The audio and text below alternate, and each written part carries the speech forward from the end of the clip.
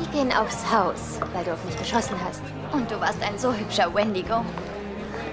Kannst du wirklich schon arbeiten? Ja, mir geht's gut. Es ist fast so, als wäre gar nichts passiert. Abgesehen von Billy.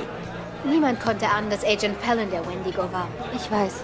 Trotzdem ist es ein merkwürdiges Gefühl, dass wir Billy nicht beschützen konnten. Er wollte mithelfen, den Wendigo zur Strecke zu bringen. Und genau das hat er doch gemacht, oder? Ich bin sehr froh, dass du nicht mehr in Gefahr bist. Und Andy auch nicht. Apropos, was hast du ihm erzählt, warum wir alle im Park gewesen sind? Ich habe ihm die Wahrheit gesagt. Hör auf! Wirklich?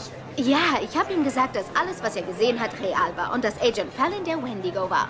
Und dass, wenn wir nicht gekommen wären, er und Piper getötet worden wären. Ich wusste nicht, was ich sonst hätte sagen sollen. Wie hat er reagiert?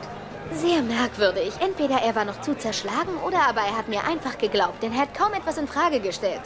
Das war das offenste Gespräch, das wir seit langer Zeit geführt haben. Tja, man könnte ja darüber nachdenken, ihm etwas über Hexen zu erzählen. Also, die Arbeit ruft. Ähm, ach ja, richtig, das hatte ich ja ganz vergessen. Ich wollte ja noch mit dir reden, bitte sei nicht böse, aber ich kündige. Was?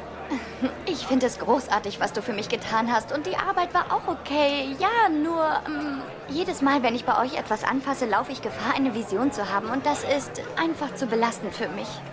Und außerdem ist es deine Welt. Jeder muss seine eigene finden. Das wirst du. Haltet euch aus meiner Welt raus, sonst drehe ich euch den Hals um.